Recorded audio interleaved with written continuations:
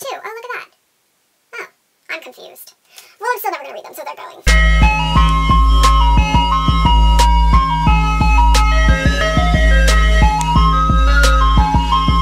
Hey guys, it's Jay and today I'm here with another unhaul video. I have a total of nine books that I've read recently and just do not need on my shelf anymore. So without further ado, let us get started.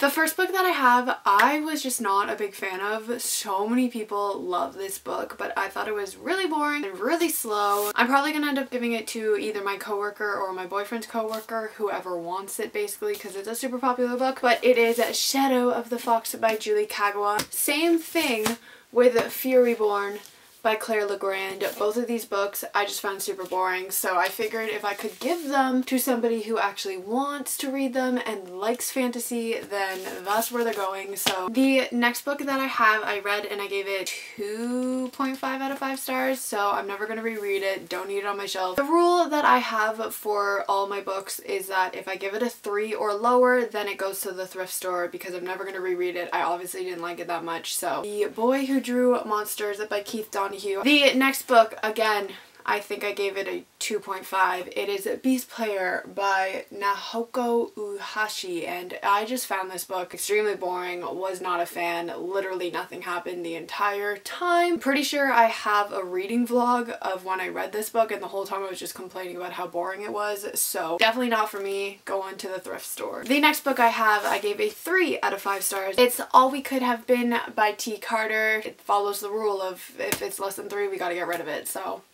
off to the thrift store. The next is a graphic novel. I ended up giving 2.5. It is Five Worlds, The Red Maze. This is also the third book in this series. I got rid of the first two, so I really don't need the third book if I don't have the first two. So the next book I have is The Future of Us by Jay Asher and Carolyn Mackler. I gave this a 2.5 or a 2. I honestly cannot remember, but the concept was pretty cool for this book. The execution was so bad. And then the next two books I have had on my shelf for years. I'm pretty sure they're like the 14th and like the 12th in a series, so like I don't own the other ones don't need these ones still because realistically we ain't ever gonna read them. But the first one is Fired Up by Jayne Ann Krentz and it's apparently an Arcane Society novel but like I said I'm pretty sure it's like the 14th. So, and then the other one is Burning Lamp by Amanda Quick, which fun fact, is the same person as Jayne Ann Krentz. So like, oh, this is book two of the Dreamlight trilogy. Alright guys, so that was my little unhaul video for the day. Let me know down below if you guys have read any of these, what you thought of them, and I will see you all